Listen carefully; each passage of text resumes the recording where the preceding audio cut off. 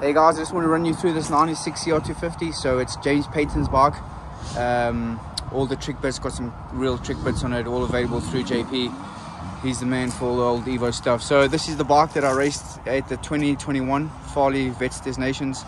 Uh, finished second and uh, behind Mark Brown and the Irish team actually won it. Northern Ireland actually won it. So quite a good bike. I wasn't completely happy with it um, when I rode it. So we've made some changes and stuff, and it's definitely feeling a lot better. So just a quick run through. Uh, it's got a Fresco silencer on it. Uh, some nice carbon on the chain guard. Titanium like all the way through, like every single bolt on the bike is titanium. Uh, factory gear shifter, so pretty cool. Factory Honda gear shifter, titanium studs, titanium bolts. New carb, uh, up to the handlebars, got a center Renthal bars on, cool old school bar pad. I'm not sure what clamps they are, uh, maybe factory, I'm not sure, not completely sure. Uh, go around to the front, oversized front brake disc makes a massive difference on these bikes. Obviously stopping was a bit harder on them, so oversized with that. Uh, old school front number board, classic, looks pretty trick. ARC levers, pro taper perch, uh, I'm not exactly sure what front pipe it is. It hasn't got a badge on it, but it looks like it's burning pretty sweet. A little bit of blueness. Uh, and other than that, not much. Pretty cool. Coated shock. Back brake. Wheel space.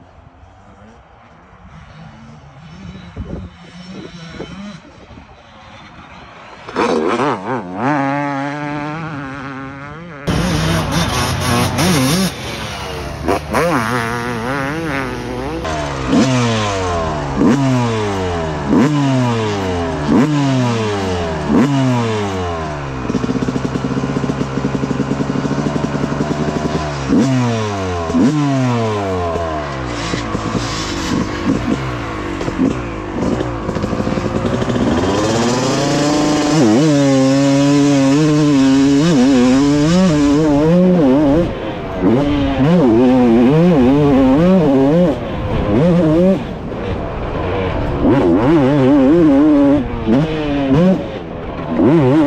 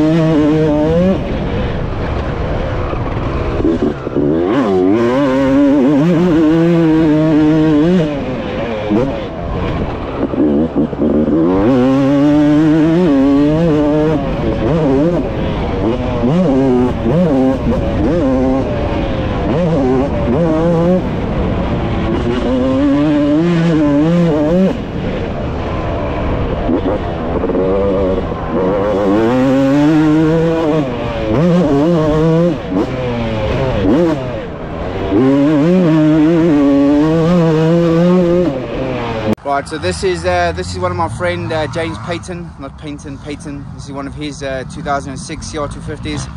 Uh, he got the bike about two or three years ago, and this is the first time he's riding it. So uh, he got the bike from America. So sounded like when he was riding it, like it was pretty cool. Uh, Terry Vaughn has done the engine, I think. He's I think he's a tuner in America. Does some good stuff, I believe. V-Force 300, some decent foot pegs. Uh, Works Connection, it's the best. You do not get better than that. So it's got some bits in it. Obviously, it's got the Showa twin taper forks, uh, bigger brake disc. So I think that's a little bit bigger than standard. than what comes standard. Obviously, this is the model with the with the RC valve. After 01, the 02 went to the RC valve. I think they tweaked it a little bit. Um, then other than that, Pro Circuit pipe, it looks like Hinson cover. Obviously, it's got a different shock to the 96, so it'll be good to try that. Uh, what silence has it got? Uh, looks like looks like a Pro Circuit silencer on it. So, just be interesting to see the difference. Obviously, there's uh, 10 years between the bikes. This is the last generation Honda that they built. Um, they improved it. I think obviously 90, 97 was the first year they went away from the, the steel frame to alley frame and then they improved it. Uh, I think they took a backward step on the engine when they put the electronic power valve on, but just be cool to back to back them, see what the differences are, see how they handle, see what the motor's like. I'll let you guys know how it is.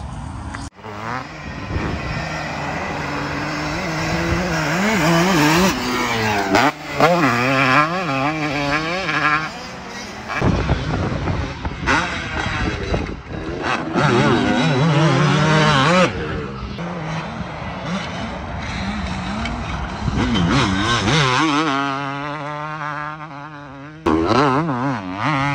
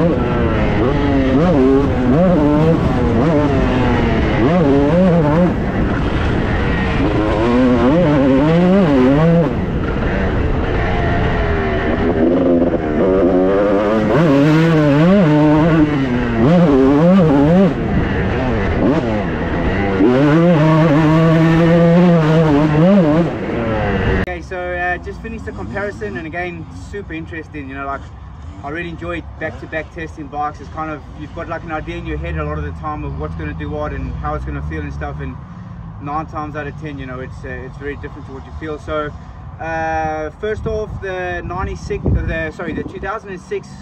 You know, like I've had one before, 2002, that was really good, um, and it just had like absolutely no bottom end. It was quite a hard bike to ride, and I kind of thought that this bike would be the same, but I think it's definitely had some engine work. This it's quite smooth off the bottom, but the mid to top end is unreal. Like even the way that the bike over revs in the air, like if you get a bit of a panic rev on, um, yeah, it's, it's quite impressive actually. So that kind of surprised me. Uh, the chassis on the 2006 is very different to the 96. The 96 you kind of sit in it. That's my favorite way of riding is sitting in the bikes. I think that's why I enjoy the old bikes. You sit you sit a lot more into the 96 and have a bit more of a feel where the 2006 is a lot more of a modern bike. You kind of sit on top of it. Um, as far as the chassis goes, I actually preferred the 96 chassis just because it's closer to the ground and you feel like more in the bike. Uh, where on the 2006 you kind of sit on top of it and the the chassis you know it's, hard to actually transfer the weight through the center of the bike to actually go through the corners quick where the 96 is it seems like a lot lower center of gravity for the corners and stuff. Uh, handling wise the 2006 suspension was pretty good. Um, as far as you know taking hits you know like you can hit stuff a lot harder without the bike blowing through. When you over jump jumps you don't feel it at all. Where the 96 you definitely feel it you know like if you land in a hole or if you over jump a jump you can definitely feel it I preferred the 96 as far as tracking went so the feel coming out the corners the bike tracked a lot better like stuck to the ground a lot better where it felt like the 2006 really spun up like the the um the, the downforce was a lot better if I was a 96 I think that's just because it's feels a lot closer to the ground. So that aspect I liked of it. I think overall chassis wise, like if I was racing, I'd choose the 96 chassis and I'd probably go with the 2006 suspension just because you know like when you're racing there's ruts and stuff like you can hit stuff a lot harder and be a lot more confident with it. Um, uh, while we talk about chassis the front brake on the 96 is unbelievable. It's probably one of the best front brakes I've ever felt in my whole entire life. Uh, so easy like go through the corners drag it through the corners to get traction on the front wheel and stuff. That was really cool. Um, but it feels very low at the front you know like and that is a feel that I normally like but I actually prefer the 2006 feel with it being a little bit higher up at the front um, and then turning as I said before like those uh, those 96s is like you're on rails you get into a corner and the bike just does exactly what you want it to do you don't have to second guess anything the bike kind of does the work for you which is always a nice feel and you can push really hard but you've got that feel on a motorbike so that's the chassis pretty much done uh, back brakes were pretty similar I didn't really feel much in the back brakes. Gear changes were very similar as well. The 90, uh, the 2006 was a little bit easier on the shift. Um, I think the 96 gearbox is still very new, like it feels like a brand new bike. It's quite tight. Um, so that's uh, chassis feel. Engine feel, this was where kind of was super surprised. It was completely opposite to what I kind of uh, predicted would be the case from the bikes. So the 96 has got more bottom end like it comes in, it's got like a long, it's got quite a strong bottom end, but then it completely sounds off. Like you get to the mid-range and the bike isn't going forward anymore. And I really felt that way on the jumps I was going a lot further on the 2006 bike than what it was on the 96 bike. And that was just because of the mid to top is so much more on the 06 compared to the 96. You know, like the 96 like really signs off really early, but it definitely has got a lot more bottom end. You, you'll see on the GoPro video on the starts and stuff, you can see the 96 goes forward and then I feel it hits a spot where there's just no more power, you know. Um, where the 90, the, the 2006 was so different, like especially compared to any other Honda 250 two-stroke that I've ridden. That bike is just unreal mid to top. Like it's actually quite scary because you get to the point where you kind of think it's going to sign off and the thing just keeps going and then the corner comes you know so you've got to be quite on the brakes um, you know and beware of what's coming the bike definitely builds uh, but but definitely not as much bottom but a, a, lot more bottom than the O2 that I had was like that had zero bottom where this has actually got you know it's got a decent feel it's not as much as the 06 but it's enough to kind of get you going and not have to clutch it coming out of corners and stuff so yeah very you know very interesting differences um, I honestly thought that the 96 motor would be head and shoulders above the 2006 motor with that electronic power block or whatever it is. Um, but yeah, I am surprised, you know, like I think that is a very good motor. It's definitely not standard. It's come from America, so maybe that Terry Varner did tune it or something. But you know, nice bike to ride. Um, an ideal situation for me would be to have the frame of the 96 with the 2006 engine and then just work on the, I would say work on the 96 suspension to get that better. And I think that would be the perfect combination. Just to have like a little bit more mid to top in that bike where it's so comfortable a little bit more um, compression you know like just to hold the bike up a little bit through like the ruts and stuff. I think that would help the bike but uh, yeah just I think especially on the 252 strokes when you're racing the bigger bikes and stuff where you really need to hang those bikes on the 06 definitely just keeps building you know it's probably one of the courses one of the Chevrolet derby circuits I actually couldn't believe it how it just kept it uh last lap to last but then again, the handling of the 96 is just, they're things like on rails, you know, like, you do feel like you're steering from them, they just turn unbelievable, go exactly where you want to go, and also like a very light feel. The 96 definitely felt lighter than the 2006, the way that you can move it around the, the, the track a lot, but I don't know if that's the feel of the bike or if it's just because it gets a lot less power when you get to the mid-range of power, but uh, pretty awesome we got to do this, thanks to both of the Jameses for letting me ride their bikes. Um, always a good time riding Honda 2 strokes on a Friday and you know, I hope you guys take a bit out of the video. It's something I've always wanted and finally I got the chance to try them back to back. So hope you enjoyed it.